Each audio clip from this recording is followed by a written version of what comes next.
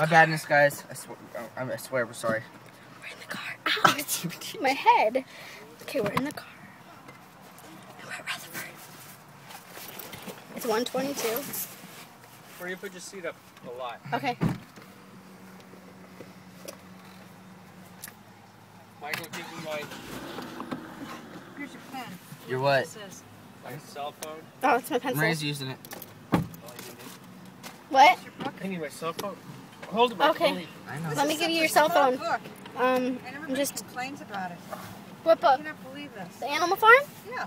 That's it's a complicated book because it talks about animals goofy in a farm, but really it's talking about the Russian Revolution. That's why I have to look.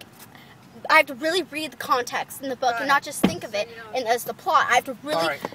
compare it to the Russian Clear now to Revolution. back up. All right, No, it isn't. Stop. I know. say goodbye. I've learned not to listen to people while I drive on a All back right. road. Well, John? Say bye.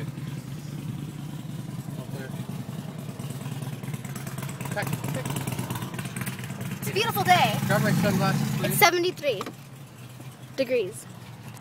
Where are my sunglasses? Woo!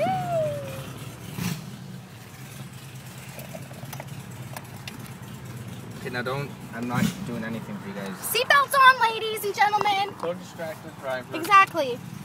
We got to keep our seatbelts on. Be safe at all times. We're gonna get my phone. Okay.